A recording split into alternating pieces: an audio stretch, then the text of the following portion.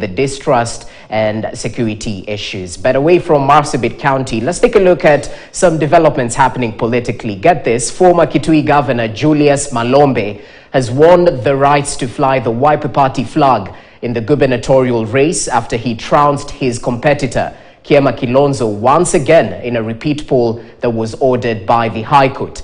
Malombe garnered 9,826 votes, while Kilonzo could only manage 80 votes in an exercise that recorded 75 rejected votes. Now, separately, the clearance process for gubernatorial aspirants and members of county assembly has also been ongoing. Now, our reporter Moige William is keeping tabs on this story and now joins us with the details of what to expect. Moige William, good morning. I'm pretty sure the residents of Kitui had to go back to the ballot, adding their voice, and they definitely chose Malombe. What stood out, perhaps, during that particular process, even as we evaluate the way forward?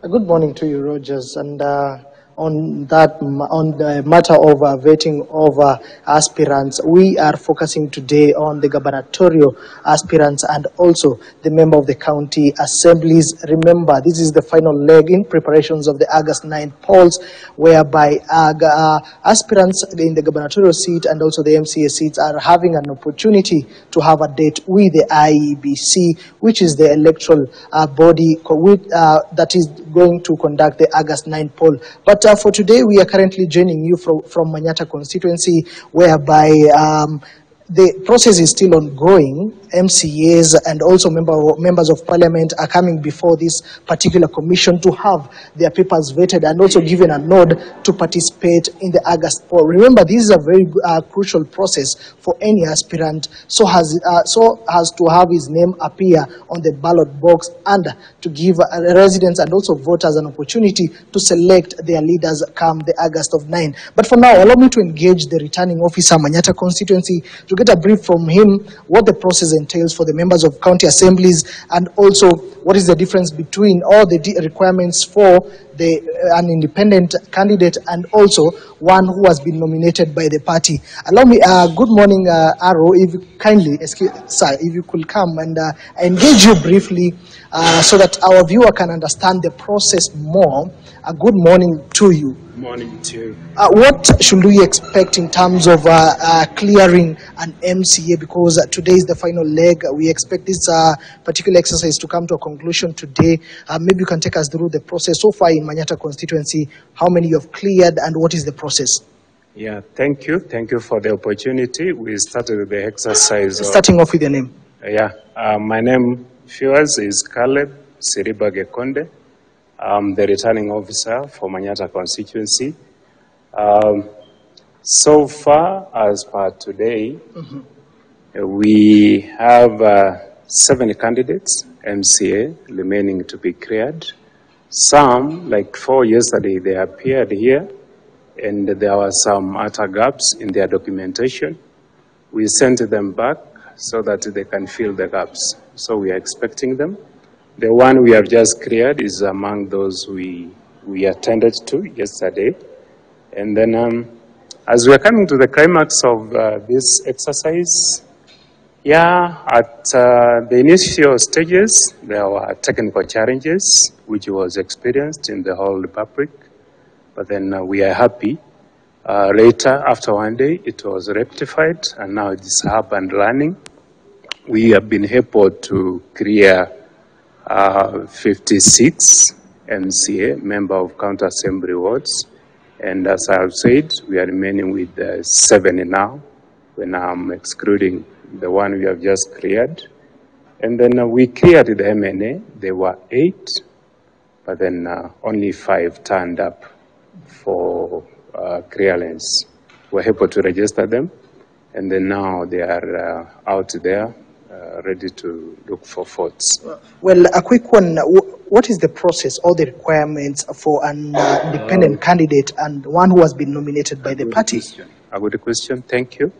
Uh, the only difference, uh, okay, okay, they are almost the same, but then for when it comes for the independent candidates, uh, I think they require, not really thinking, they require to have a clearance certificate for their symbol and the clearance letter from IEBC, uh, from the Office of Registrar of Political Parties. Secondly, they should have the list of supporters. For MNAs, is 500 from the electoral area where they are contesting from. Likewise, to MNA, there is the same same requirements.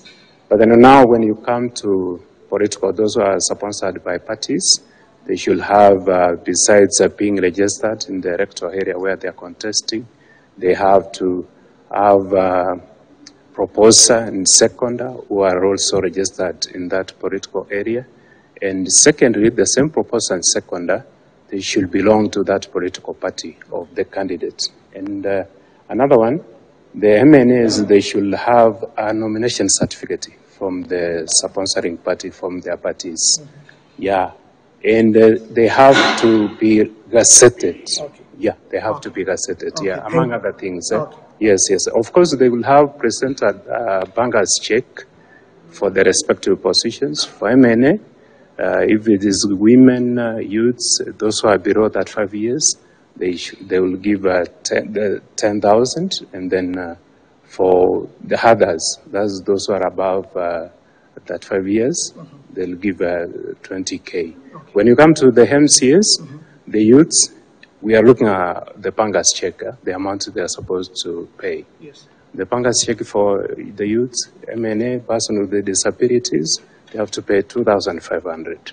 And for others who are above uh, men, above uh, that five years, they'll pay 5,000. Okay. Yes. Thank you for your time. Uh, Those are just but uh, some of the requirements. And um, from the RO, there's a young man we have bumped into, and just now he has been uh, cleared to vie for member of county assembly. I can see you go by the name Victor Brian Gidaka. Good morning to you. How old are you? You look young. Yes, I'm 24 years old, uh, and I'm aspiring to be an MCA Kirimari Ward, and I've been cleared now. I'm a candidate, and I will be in the ballot on August 2022. 24 years old, and you'll be in the ballot come uh, August 9. Is this your first job? Have you been working somewhere else? And why the seat of a member of county assembly? When did you clear school? Uh, I, I did finish school last year, 2021, and I graduated on September. Yes, and professionally, I'm a software engineer, but I'm aspiring to be an MCA so that I can change the life of people of Kirimari Ward. Yes, and improve their lives. You graduated last year. You're a software engineer. Have you worked somewhere else? Will this be your first job if you clinch the seat? What are your expectations? Uh, If, if I will clinch the seat, this will be my first professional job, which I will be employed. Yes, this will be my first job. Yes, and I'm aspiring to that, that I, I will be so glad if this will be my first job. Yes. 24 years old, and uh, you, are- you, are, you, have not been cleared uh, to be a candidate. You're no longer an aspirant. So, when are you starting your campaigns? How will you fund your campaigns? Let us understand that from you. You are a young person. Uh, what are the, the, the dynamics that you expect as you kick off your campaigns? Yes, the, the campaign, I, I have already started my campaign. I do many campaign with a, with a donkey uh, because I, I'm, I'm aspiring to work hard like a donkey. So I do many campaign with a donkey because I don't have money like to hire a big, big trailer to go and campaign. Uh, when I campaign with a donkey, people do many, wananiangalia, wanafurahia venye na campaign eh, na kujituma. Uh, which, which, uh, are you an independent, independent candidate or uh, you are vying via, uh, on which tickets? I'm vying via Tujibebe, my, my party, which is sponsoring me is Tujibebe, and I did one, I did win the nomination on 15th last month. Yes. quite some win, and uh, I wish you all the very best as you and as you start off your campaign. All the very best. Well, uh, that is uh, that is Victor, 24 years old. He has just been cleared. He's no longer an aspirant, but now a candidate.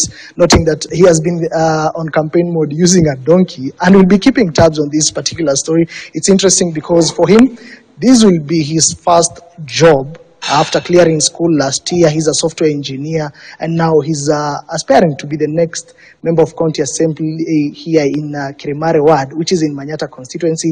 Quite young for him and ambitious, and ambitious for him as he now uh, officially kick off his campaign to woo uh, the people of Kirimari, uh, Kirimari, uh, Kirimari Ward here in Embu County quite uh, some uh, jovial mood for him. And also, we'll be keeping tabs on other uh, MCA aspirants who will be cleared today. Remember, this particular stage is very important for any aspirants because you come, uh, you you, you make a step from being an aspirant to being a candidate, and uh, finally you make it to the ballot paper. Uh, Rogers, uh, that is all from me, Moige William, but you'll be keeping tabs in Embu County and also you'll be making our way to Tharaka County as we watch the process uh, in its final leg. Back to you, Rogers.